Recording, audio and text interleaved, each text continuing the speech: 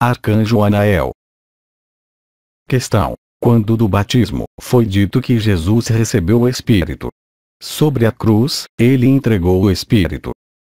Bem-amada, não se esqueça jamais que aqueles que reproduziram a vida de Jesus não estavam presentes, por eles mesmos, quando do batismo. Assim, portanto, há eventos históricos que não têm qualquer relação com o que foi traduzido em suas escrituras.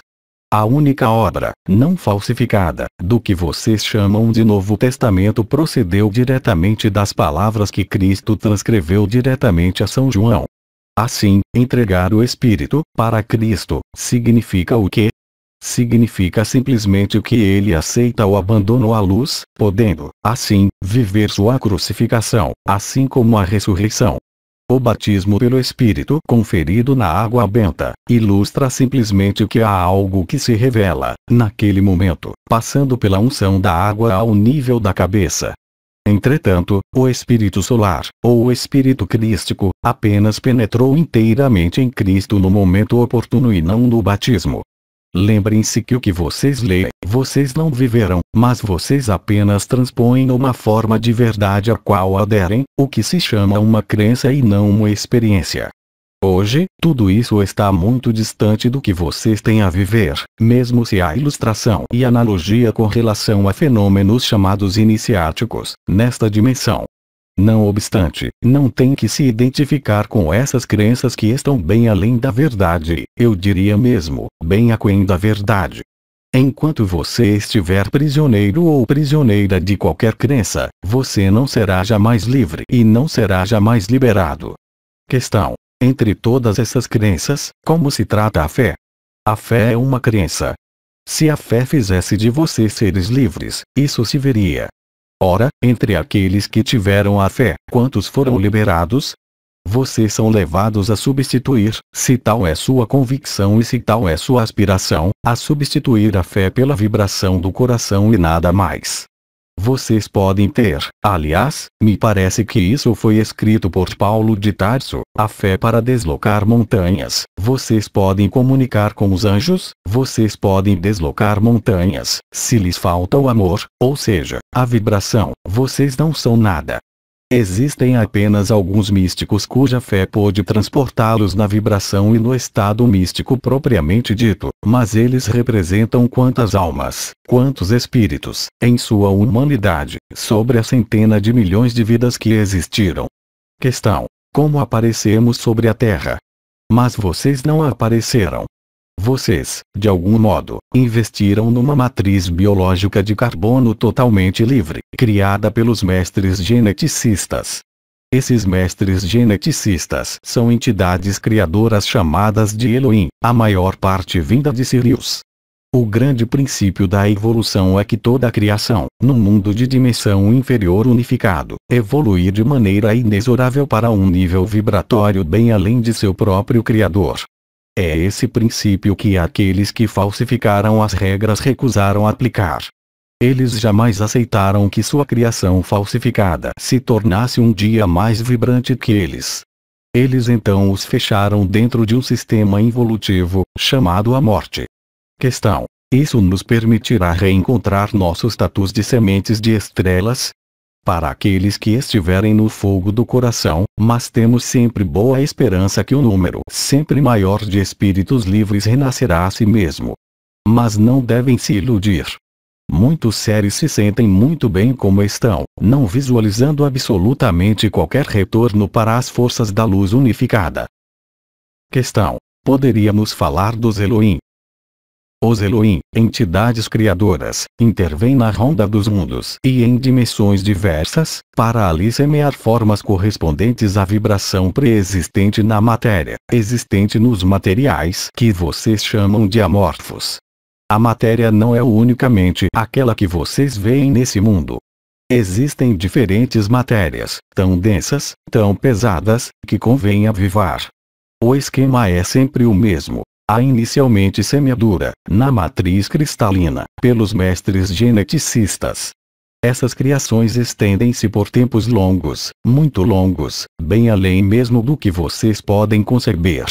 A partir do momento em que uma consciência livre, chamada de planeta, decide acolher, em seu seio, formas de vida diferentes de sua própria consciência, convém, de início, inserir, nesta matéria precisa, certo número de vibrações, essas vibrações são então trazidas pelos Elohim criadores, trazendo, não primeiro a vida sob forma de DNA, mas uma vida simples, sob forma de vibração, que vocês chamam de cristais. São essas criações cristalinas que vão permitir o desenvolvimento e o apoio da vida. Assim, ao final de certo tempo de semeadura, diferente segundo o tipo de matéria, se torna então possível criar o DNA, cuja expressão pode ser muito diferente, de acordo com o tipo de matéria e de acordo com a forma de vida desejada pelos criadores. Esses criadores, que são de fato criadoras, semeiam então, quando de uma segunda onda, certo número de vidas conscientes, nas quais podem vir almas ou espíritos preexistentes, que não têm ainda a alma, inteiramente liberta, para viver experiências na matéria, que elas podem deixar a qualquer momento, Algumas consciências fazem então a escolha de aperfeiçoar sua própria evolução, que é infinita, por essência, nos mundos unificados, até se tornarem, a seu turno, superiores às suas próprias criadoras, nesta matéria específica ou fora dela. Assim, o que é chamado de Elohim, são seres que percorreram a superfície desse mundo, bem antes que Deus e diabo tomassem posse, a um dado momento, quando da intrusão dessas forças opostas à luz e que queriam realizar experiências de confinamento, os Elohim foram obrigados a se retirar, mesmo aqueles que foram chamados de gigantes ou de nefilins, cujo simples nome pode fazer tremer de horror alguns seres e, aí também, são crenças que lhes foram inseridas. Os nefilins são seres muito próximos da fonte unificada, esses gigantes deixaram então o certo número de marcas de sua presença e de seu trabalho de luz, nesses mundos. Eles em seguida partiram para sua esfera planetária e estelar de origem, para continuar seu trabalho. A evolução nunca tem fim, jamais. Mesmo uma dimensão fixada no plano evolutivo, o que não quer dizer que ela não evolui, mas sim, que permanece nesta dimensão, tendo acesso às outras dimensões. Assim o é dos arcanjos, Assim o é de algumas esferas planetárias ou de alguns sóis. Apenas nos mundos divididos, dissociados, que o esquema evolutivo, falando de nascimento e de morte, existe. Em outros lugares, existe uma criação, mas não existe morte. Questão: Qual é o número de Elohim e qual é seu papel hoje? A história dos Elohim é muito antiga. Ela remonta a mais de 20 milhões de anos. Agora, nesses seis ciclos falsificados, os Elohim mantiveram uma presença específica. Eles tiveram êxito em não perder o fio de sua própria criação e de não abandonar sua criação dentro da matriz. Eles portanto colocaram regras e certo número de atos que permitem, hoje, viver o que vocês vivem, sem dever mergulhar e renascer na matriz. Os Elohim foram os doze Elohim criadores de Atlântida, vindos de Orion, vindos de Altair, de Vega.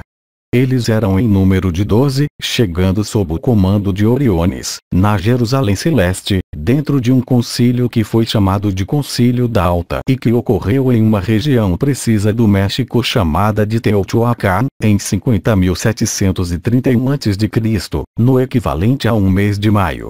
Esses doze Elohim sabiam, vindo nesta matriz, pelo menos duvidavam, mesmo se alguns não aceitaram, que, para manter um fio de luz nesta matriz, eles deviam ser eles mesmos precipitados nesta matriz. Eles então, pouco a pouco, nesta primeira tomada de forma nesta matriz, perderam em certa medida sua memória. A maior parte desses Elohim caiu, porque foram presos, eles também, pela matriz, Somente muito grandes séries, até agora, puderam escapar da matriz e eles se contam nos dedos de uma mão e esses séries não são Elohim.